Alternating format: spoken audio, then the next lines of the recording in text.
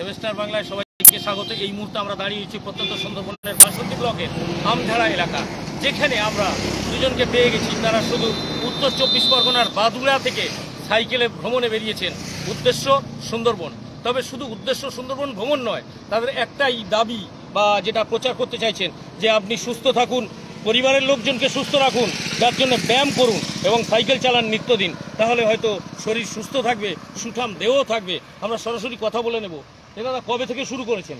আমরা আজ সকালবেলা থেকে রওনা দিয়েছি এবং আজকেই আমরা সন্ধ্যার মধ্যে সুন্দরবনে আজকে কি বাদুলিয়া থেকে রওনা দিয়েছেন? আজকে সকালবেলায় রওনা দিয়েছি। গন্তব্য কোথায়? গন্তব্য সুন্দর সুন্দরবনে পাখিরালয়। পাখিরালয়। এই যে বাদুড়িয়া থেকে সুন্দরবন পাখিরালয় কত কিলোমিটার? এটা আমাদের ম্যাপ অনুযায়ী একশো কুড়ি কিলোমিটারের কাছাকাছি। একশো কুড়ি কিলোমিটার। এই যে যাতায়াতের মাঝখানে আপনারা কি কোথাও কোনো রেস্ট নিয়েছেন? আমরা শুকনো খাবার সঙ্গে নিয়ে নিয়েছিলাম। তো সেই খাবার হালকা টিফিন করে নিয়েছি ওই কুড়ি তিরিশ মিনিটের মতো। মালঞ্চ থেকে। ওখান থেকে টিফিন করে নিয়েছি। নিয়ে আমরা ওই জলের বোতল সংস্থার সঙ্গে রেখেছি। এই আমরা চালাচ্ছি চলতে চলতেই আমরা টিফিনটা করছি। মাঝ রাস্তায় হয়তো সাইকেলের হাওয়া নেই কি করবেন? আমাদের এই পাম্পার সঙ্গে আছে তো এই পাম্পারটা দিয়ে আমরা হাওয়া দিয়ে নিচ্ছি এবং কন্টিনিউ এটা চালিয়ে যাওয়ার চেষ্টা করছি। হ্যাঁ আপনারা যাচ্ছেন সুন্দরবনে সাইকেলে মানে এক প্রকার ভ্রমণ বলা যায় কিন্তু সাধারণ মানুষের কি বার্তা দেবেন? আমি সাধারণ মানুষেরকে এই বার্তা দেবো যে আমাদেরকে দেখুন আমরা সব প্রতিদিন সকালবেলা খুব ভোরে উঠে আমরা প্র্যাকটিস করি।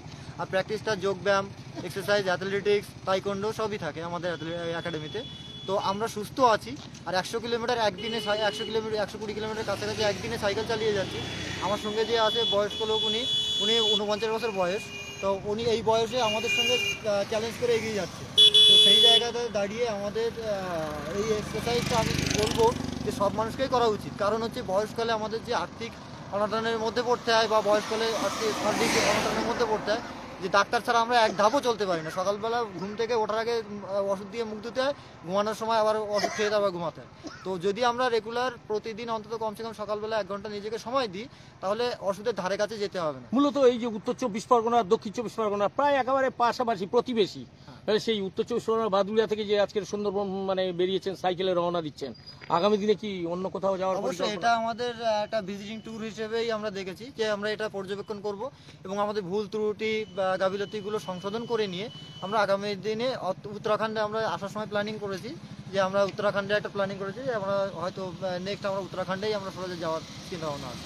এই যে যাতায়াতের পথে সাধারণ মানুষের কি কোনো ভালোবাসা পাচ্ছেন? হ্যাঁ সাধারণ মানুষ আমাদেরকে ডেকে চা বিস্কুট খাওয়াচ্ছে এবং জল খাওয়াচ্ছে এবং তারা জিজ্ঞাসা করছে এবং তারা বাহবা দিচ্ছে যে তোমরা এগিয়ে যাও।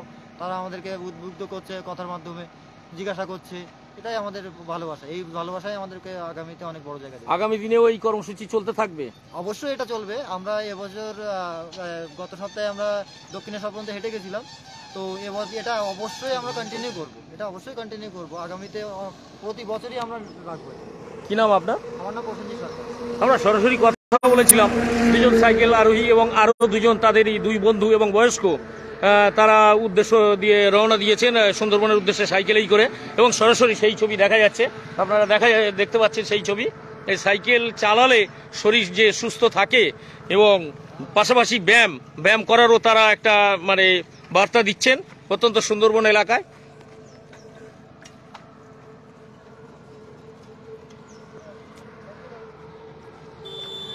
এই যে দুজন বালক মানে দুজন ব্যক্তি সাইকেল চড়ে গেল এবং আগে দুজন গিয়েছে।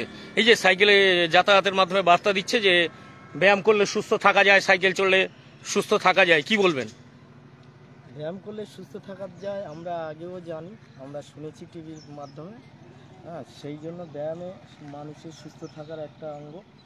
তা আমরা সেই ওদের আরও বাহবা দিই ওরা যাতে করে দেশে অন্য জায়গাতে এই ব্য- ব্যায়ামে প্রক্রিয়াটা যাতে করে চালাতে পারে সেটাই আমরা ওদেরকে উদ্বুদ্ধ করে আরও এগিয়ে যাক ওদেরকে এই বার্তা এই যে আজকের যে দুই যুবক তারা বার্তা দিয়ে গেল আপনি কি আগামী দিন আগামীকাল থেকে আবার ব্যায়াম শুরু করবেন?